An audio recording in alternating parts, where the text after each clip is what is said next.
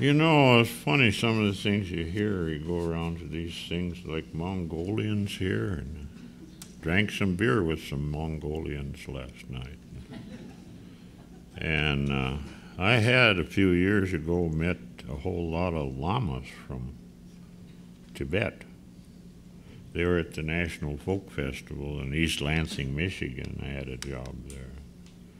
Them lamas, they were with the Dalai Lama, who they hung out with. He wasn't there. They didn't know anything about Tony Lama, the bootmaker. they, no, nothing. I thought, I thought they might be kind of a bunch of fakes or something, you know.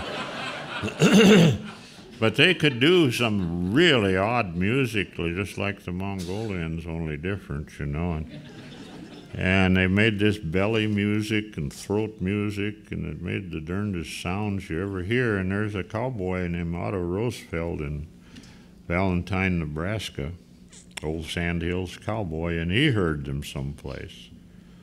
Went purposely to see them, and and he learned to do that belly music. And I learned a little of it. Well, when me and it just go. And uh, then I do the high part like one of these guys from Mongolia was doing in the bar. And uh, I think the other patrons got kind of tired of it, but I was going.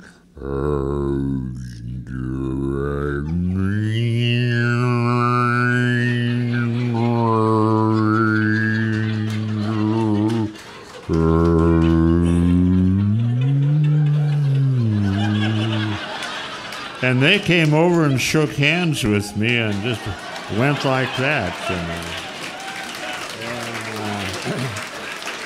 uh, my voice is my voice is low, and I could do something they couldn't do. I can sing way below the range of human hearing. So I did that, and everybody liked that. It goes, uh, I have to start a little high and work my way down to it.